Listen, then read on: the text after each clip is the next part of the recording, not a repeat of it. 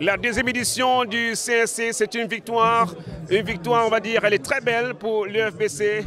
L'élite du football Boisson du Cameroun, une victoire après l'épreuve fatidique de tir au but. Monsieur le manager général Jean-Flaubert Nono, c'est une victoire et on peut saluer la bravoure des enfants aujourd'hui.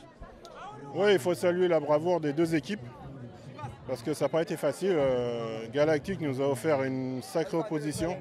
Ils ont mis, ils ont mis du cœur. Et donc ils ont réussi à nous contenir euh, pendant les 70 minutes. C'était une belle finale, sincèrement, c'était une très belle finale et il y avait un nombreux public, donc ça fait plaisir. Il faut remercier les gens de s'être déplacés pour venir voir jouer les enfants. Parce que c'est pour eux, c'est un, exercice de jeu devant du monde. Donc voilà, après oui, on a gagné, donc on est très content, effectivement.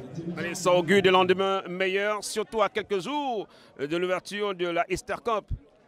Oui, je suis content parce que ces, congés de Pâques ont donné euh, l'occasion de faire beaucoup de tournois. et c'est ce qu'on attend. Euh, les enfants se sont éclatés. Et maintenant, il y a le, dessert, on va dire. Euh, dès mardi, la Easter Cup Patia Berthelot. Et là, oui, je pense que le stade de Bonestadi va vibrer.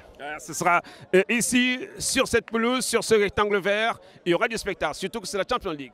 Oui, oui, c'est la Champions League des Jeux au Cameroun. Non, ça va, ça va bouger ça va vraiment bouger Hervé, il ne faut pas, faut pas rater le rendez-vous. Dès mardi, coup d'envoi, 11h.